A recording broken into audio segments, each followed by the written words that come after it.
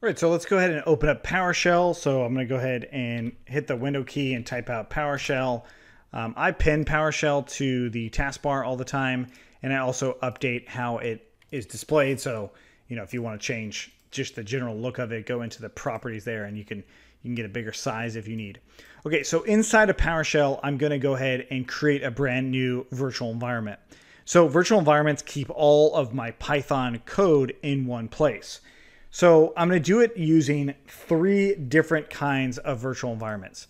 The first one I'll use is VENV. The second is virtual env. And then finally, the recommended one is pip env.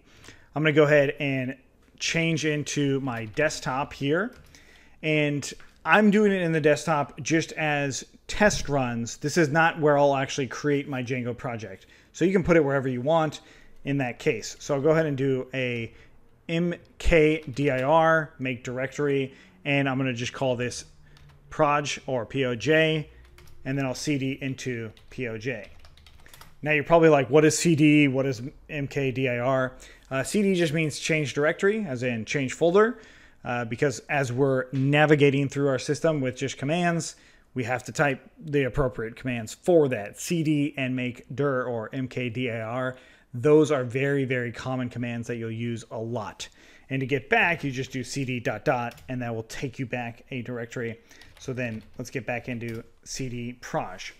Okay, so to install a virtual environment or to use a virtual environment, we have to declare Python first, right? So Python is the default when we want to use a package that's installed, but we don't know for sure which version of Python it's on or something like that. So if I did python m pip install venv and hit enter, I get nothing found, right? And that's because venv is built into Python. So if I did python dash m venv and then I said whatever virtual environment name I wanted to give it, in this case, I'll do my env1 and hit enter.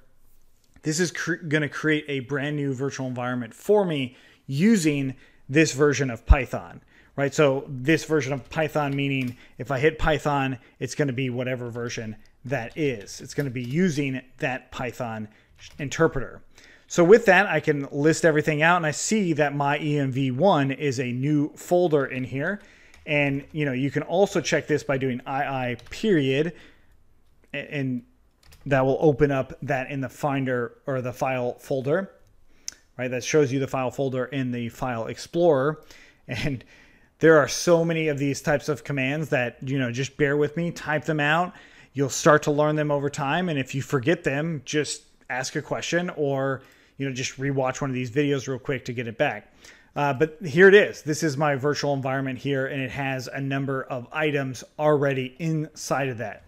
Um, so if I cd into that, my env1, I can actually activate this with dot slash scripts slash activate.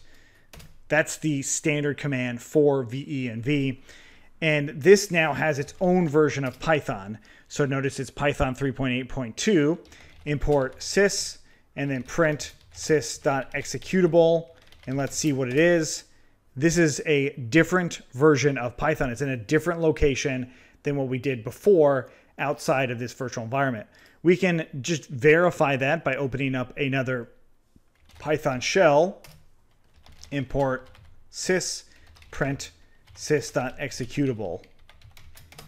Okay, so notice that those two are different, right? So it's absolutely using a different version of Python for the virtual environment. Uh, however, this virtual environment was created from this version of Python or our systems version of Python.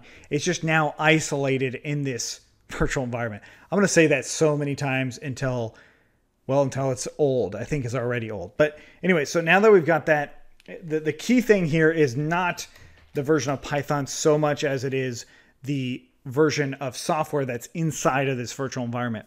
But I'm not going to do that yet. I'm just going to close this out. I'm not going to talk about any other software yet. But instead, what I'm going to do is the next kind of virtual environment, which is virtual env. I'm going to open up a brand new PowerShell here, and then I'll go ahead and cd into my desktop cd into proj, and then I'm going to make a new virtual environment here. And now I'm going to do python dash m pip install virtual env, and I hit enter.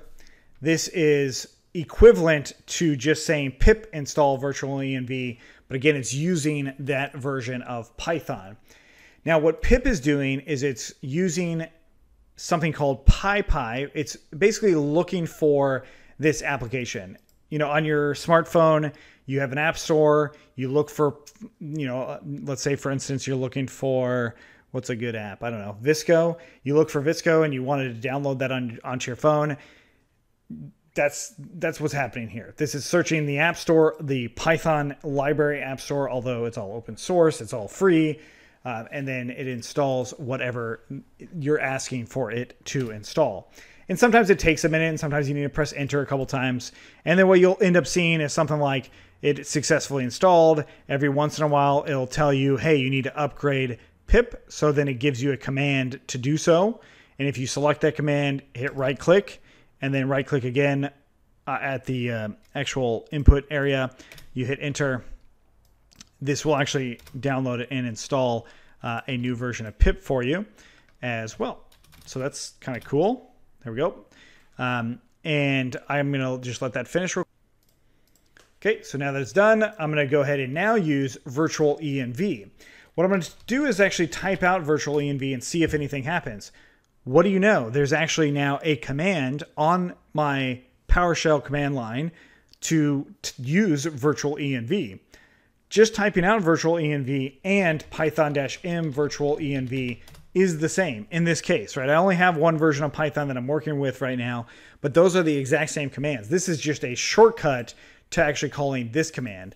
So oftentimes with projects, you'll just see virtual env. You don't see the python-m virtual env. And that's the same is true with pip install. You'll usually just see pip install that's because pip is often installed on your system as well. In my case, it is, but sometimes it's not, or you want to use a different version of Python to do this. So I keep on saying all these different versions of Python. Windows users have it a little bit harder because of how the the versions of Python actually work. So I'm going to use one other version of Python just to show you this, and we'll do the C. You don't have to do this because you probably don't already have it. I'm going to use Python 36 and then python.exe dash m and I'll do pip install upgrade pip. And what that does is it attempts to install an upgraded version of pip in Python 36, right? So it didn't actually do it. It didn't work in this case, um, but that is a different version of Python. Um, so I'm, again, I'm not I'm not trying to focus too much on all these different versions, but it, it, does become a problem at some point, and, and you're just going to have to trust me on that, even if it's extra confusing now. So if we type out clear, that actually clears our screen. I actually want to create a virtual environment with virtual env. So that means that I'll just go ahead and say virtual env, and then whatever the name I want to give it, in my case, I'll do my env2, and I'll press enter. Okay, so in this case, we could have specified the actual Python version that we want. Uh, I'm going to go ahead and do II period to just make sure that virtual env2 was created or my virtual env2. Uh, and it was. So let's go ahead and cd into that. So my env2 and then we do dot slash scripts slash activate and there we go. So we actually have our Python and I could just do dash V to see what Python version it is. And of course, there it is. Um, and, if, and I could also do the executable things and all that. I don't need to. Um, now to actually deactivate this, so this was activate. To deactivate it, you just type deactivate. That's it. And to reactivate it, it would be dot slash scripts slash activate. There you go. Okay, so let's close this out. And the final one is pip env. Now, the reason I like using pipenv is because of how it actually manages the virtual environment for you.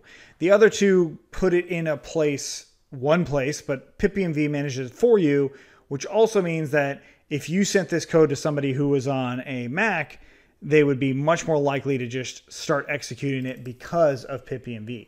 It's not perfect. None of these are perfect, but uh, I think it's it's one of the best options for beginners. So let's go ahead and get that one going. To use pipenv, of course, I have to install it. So I'm going to do python-m pip install uh, pip env and let that run and install. So now with it installed, I'm going to go ahead and navigate into the desktop again and then into Proj.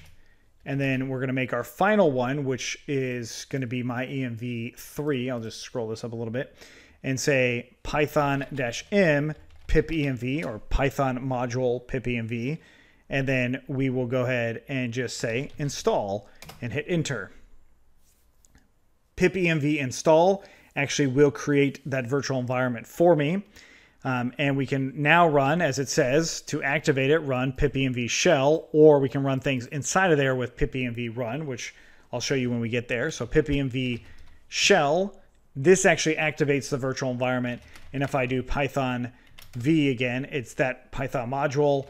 And in this case, I'm going to import Python and then Python sys, and then print sys.executable and what do you know? It's a, a brand new location. It's a completely different location that we haven't seen before.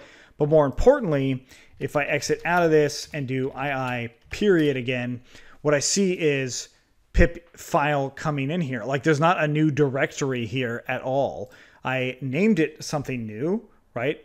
Or actually, I left it empty. I didn't give it a name, which is my mistake. But um, there's no directory where these other ones had other items in there right? They have actual things in there where this virtual environment is all located inside of this directory instead. So this is where all of my virtual environments are. So I can show you that on my system. I have quite a few of them. So if I go to C, let's just go where it's telling me, see users J, and then down to virtual ENVs.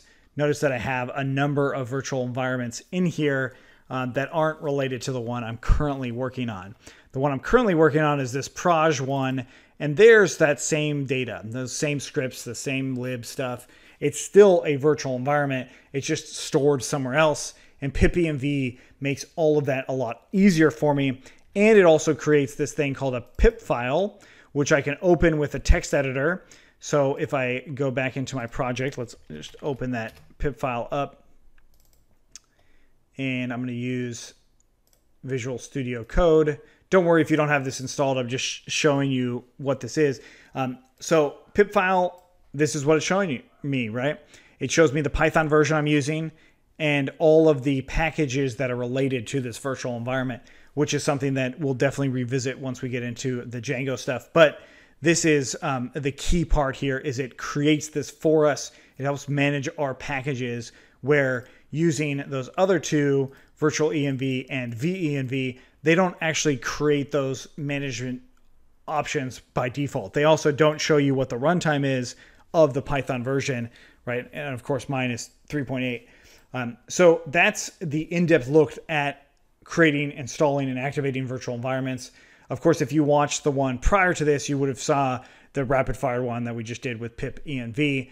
Um, so pick which one you want to choose with. Uh, I definitely used to favor virtual environment uh, or virtual env for my virtual environments, but I've since become a huge fan of pip env because it's made my projects and sharing my projects much, much, much easier um, if I'm just sticking with Python only tools. Okay, cool.